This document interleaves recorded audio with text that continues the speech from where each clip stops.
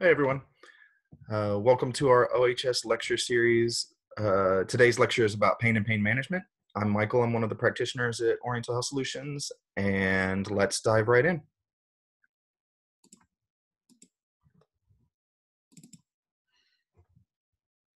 All right, so pain management at home. Uh, the lecture is going to be two parts understanding concepts of pain uh, and uh, abbreviated treatment strategies. All right, so discussing your pain. Um, the main thing you need to know is that pain is complicated. Um, it often takes a long time to understand pain, uh, what's causing it, and uh, how to treat it. Um, so spend that time. Uh, different types of pain are caused by different causes. Um, different symptoms are from different causes, and depending on the cause, the treatment is going to be different. Um, the treatment strategy is going to be different.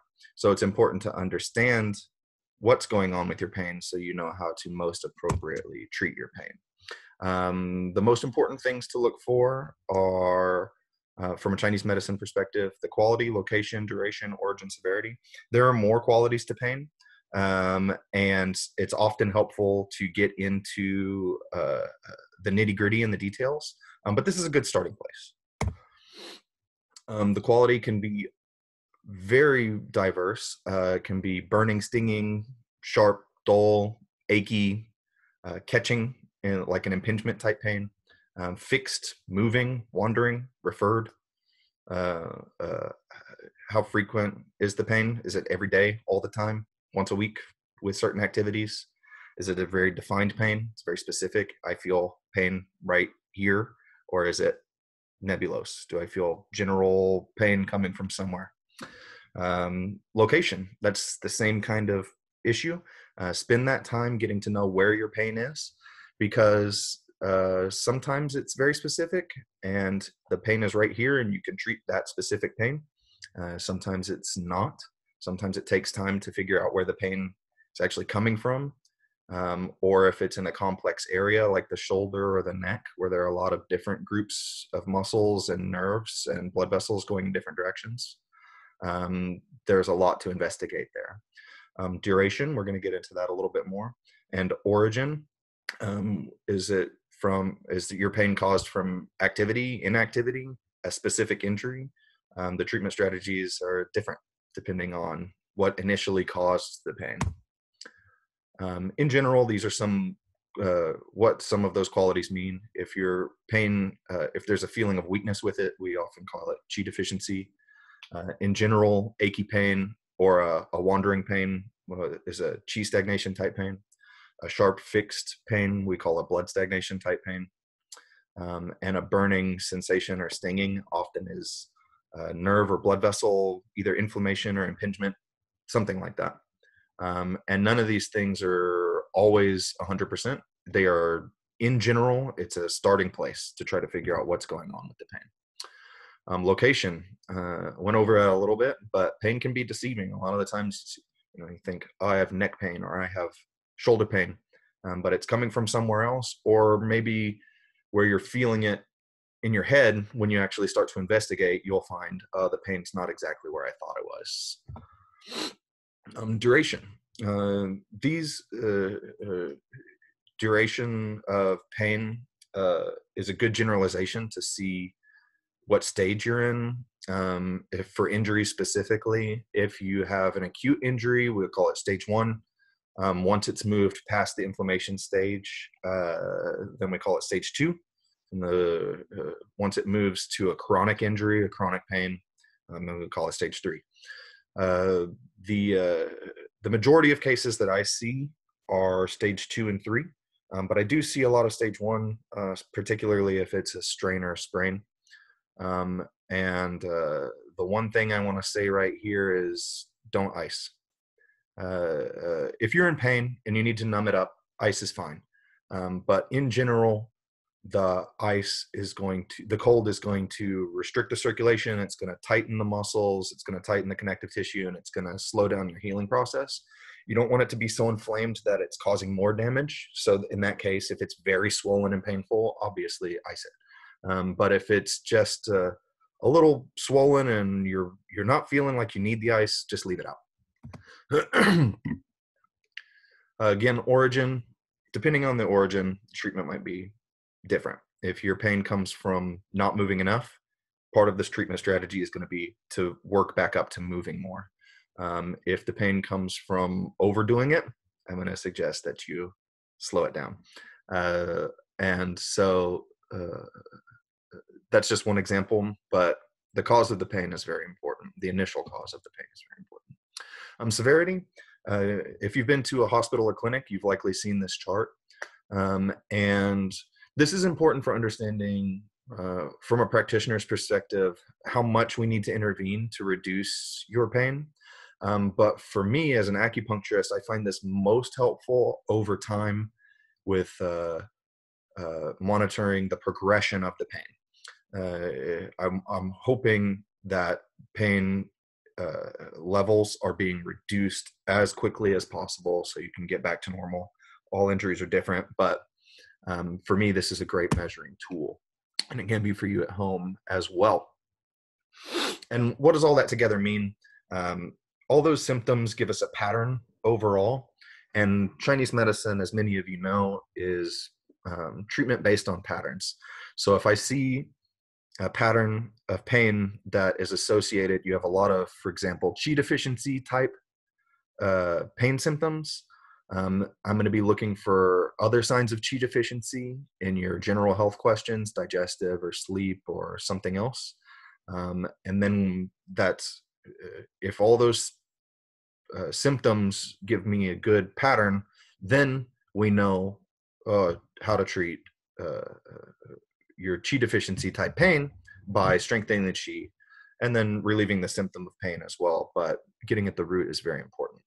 Um, several interventions for managing pain. Um, obviously, I'm an acupuncturist, so my favorite one is acupuncture.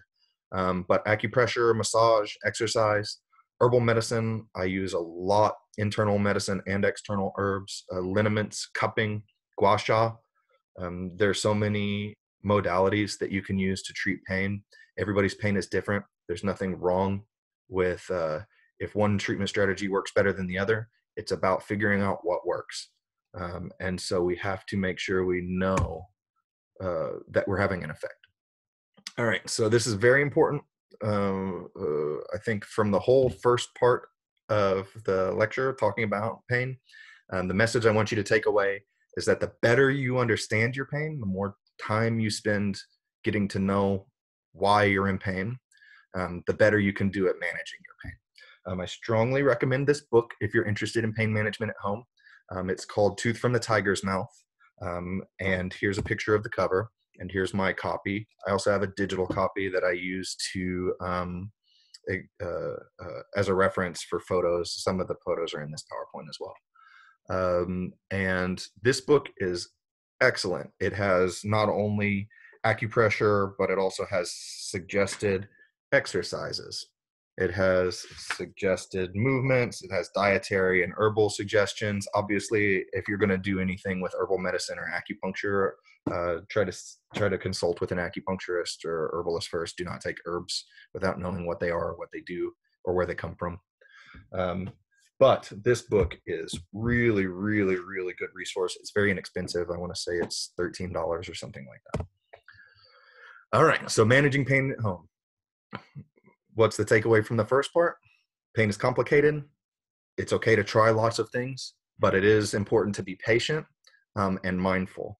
Uh, mindfulness meditation often helps. Often, when treating pain, going to somebody who helps with hypnosis or therapy or uh, the mental aspect of managing pain is also very helpful.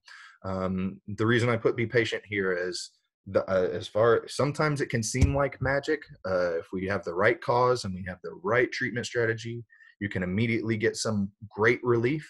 Um, and often uh, it takes longer than that often pain management takes some time um, but with measurement hopefully you can see whether or not uh, the strategy that you're choosing is helpful all right so this is a good jumping place for uh, some things you can try at home uh, acupressure helps very very much uh, in a lot of types of pain Um, but acupuncture points are not buttons. They're not, even though they can seem like magic, they are often uh, uh, uh, used incorrectly, and so they're not effective. Um, but uh, you'll the main thing when you're treating yourself is to test and see whether that is working. Um, okay, and again, these images I pulled from the Tooth from the Tiger's Mouth um, book, and then the point selections that I'm choosing are actually uh, the ones that I use in practice that I find most helpful. And um, some of them are the same as in the book, but I've covered up their points and added my own because um, these are my treatment strategies. So uh, if you have a chi deficiency type pain, you're feeling weak, the limb feels like it's not working properly, um, the pain is maybe achy or dull, but mostly the thing you're going to notice is probably weakness or inability to use that limb the way you used to, maybe shaky, something like that. Um, then these are excellent points. These are two of the strongest chi strengthening points in the body. They're very famous um, stomach 36 and large intestine 10. Um, and what you want to do with acupressure is once you have found the point, um, press down with direct pressure um, and uh, massage gently for one to two minutes. Um, chi deficiency is the root for a lot of problems in Chinese medicine. And so um, often we'll use almost anytime you go to get acupuncture, you're going to be getting these points if you have Qi deficiency, no matter who you see. Um, if your pain is caused by Qi deficiency, they're also very helpful. Chi stagnation is the most common uh, cause for pain. Um, and these are the two most commonly used points large intestine 4, Hegu, and liver 3. Um, they strongly move qi. So, any qi stagnation type problem they help with also, which is irritability or um, uh, alternating uh, symptoms. I don't want to get too deep into it, but um, they're usually helpful for that achy pain that is maybe more fixed or moving, um, but is uh, not super severe or pinchy or stinging or burning. Um, this one is uh, this combination I use a lot for head, neck pain, tooth pain, that kind of stuff. Those are often chi stagnation type pains. Um, this point, gallbladder 34, is the command point for muscles and tendons. Um, if you have a muscle or tendon injury um, that is not healing, uh, if you feel like the pain is very tight, it's hard to move because there's too much tension, gallbladder 34 works very well. There are a lot of other points that help relax muscles and tendons, but this is my favorite one. Um, tends to work almost instantly sometimes. Uh, blood stagnation. So blood stagnation, uh, you'll be feeling more severe pain, fixed stabbing. Um, it can happen at any stage, but it's more common in the middle to late stages. If you've had an injury for a long time, there's often a blood stagnation component. Circulation hasn't been good to that area, so there's old blood that needs to be moved. Liver 4 and lung 5 are my uh, go to. They typically work for the majority of blood stagnation type pain. Um, but spleen 10 is also very helpful, um, especially I find more with um, athletic people. Um, if you're the type who has a chronic injury um, and you've been running your whole life or something, spleen 10 is often very helpful. Um, okay, so those are the acupressure points for the root causes that I use most commonly. Um, and now we're going to get into point prescriptions based on areas. So, low back pain. Um, the points that I like for low back pain are called Lingu and Dabai. Um, they're on either side of large intestine 4. And the picture is kind of hard to tell, but if you can see my hand here, whoop, Lingu is right here. It's the most common one for low back pain that I like to use, and Dabai is right there. Um, and they uh, uh, work on the Taiyang channel.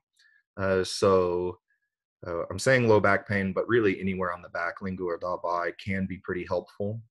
Um, Ihikon is uh, uh, my favorite point prescription for back pain, any type of back pain. Best for low back pain, um, but also helps with anything basically from the base of the neck all the way down to the heel. needling ehikon often releases it. Um, it's a combination of three points, sorry. Um, a point near bladder 39 or 40, it's in the back of your leg. A point near bladder 58 and a point near bladder 60. Uh, you'll often find a knot there. Just massage that knot out, and then you'll see that that releases the connective tissue in the back often. Um, if you're having neck pain locally, massage tends to help a lot. People love neck massages. Um, uh, I like these areas a lot. Um, you want to feel up the base of your neck until you get to those kind of big knobby bones that stick out right there.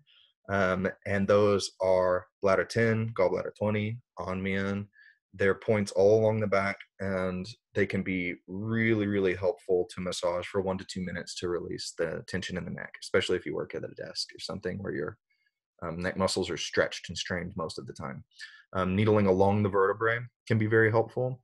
Uh, at the base of the vertebrae, um, there's a point called uh, at the base of the neck uh, at the level of uh, the first thoracic vertebrae.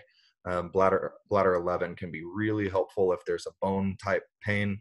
Uh, a lot of times people have like a stenosis or something like that. Um, I like to compli- combine bladder 11 with small intestine 3, which is right here um, and those tend to help with spine problems. If your pain, neck pain's more on the side of the neck, right? Sometimes you're feeling tension through here, the, the SCM or the scalenes. Um, these are points to check for. Uh, I usually only pick one or two of them, um, but uh, look through here. These are extra points and some regular acupuncture points. So they have weird, n- not weird, they have uh, um, non-number names. They have the Chinese names, um, but they say what they do usually in Chinese. Uh, uh, shoulder pain, very complicated. Um, this one is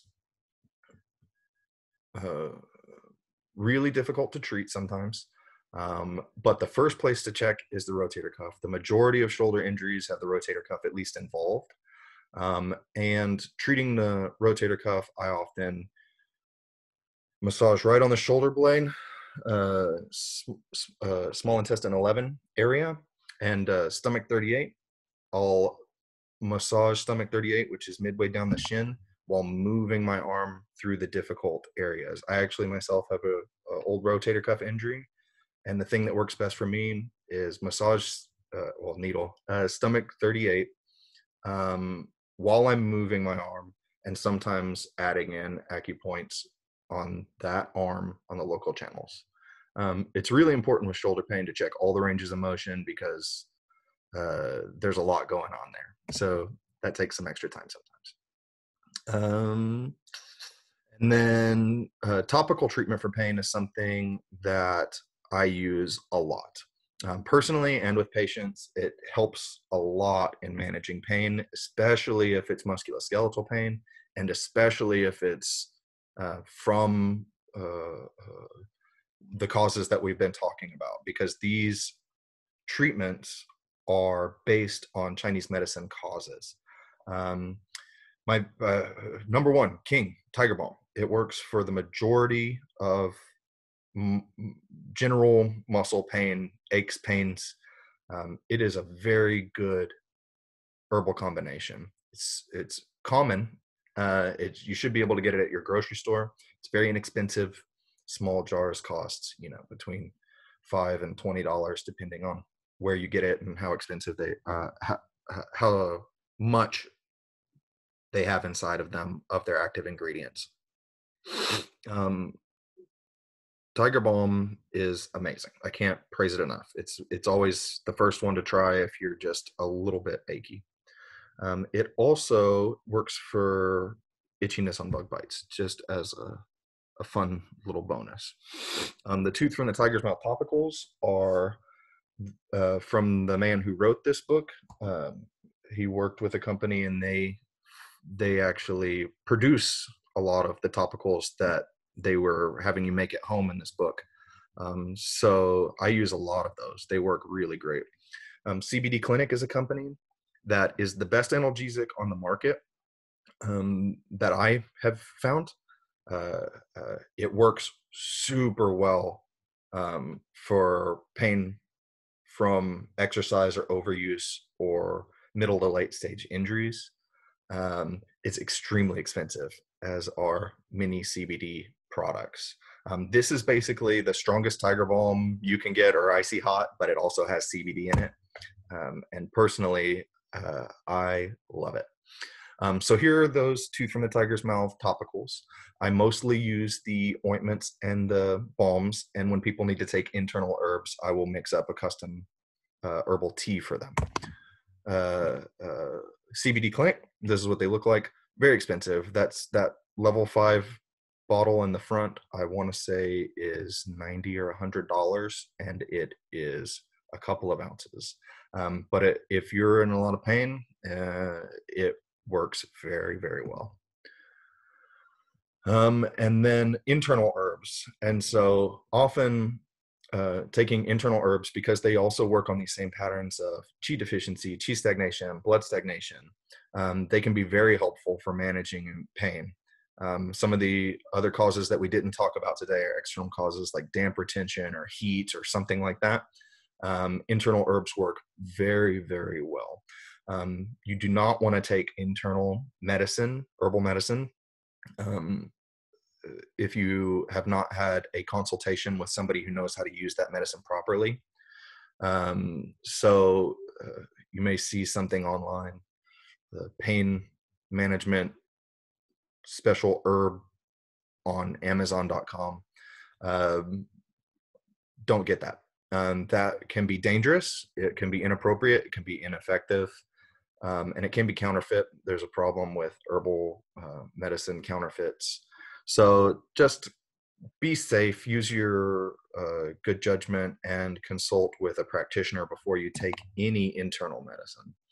Um, and we offer that. So if you have any specific questions uh, and uh, want to get with one of us, um, please email our office or give us a call.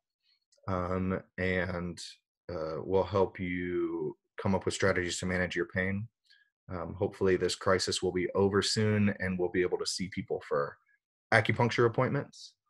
Um, but until then, stay safe. I hope this lecture has been helpful and that you are able to see some, uh, uh, get some ideas about managing your pain at home, have some things to try. Um, and if you need anything extra, we're here for you. So stay safe, stay home, and hopefully we'll see you soon. All right.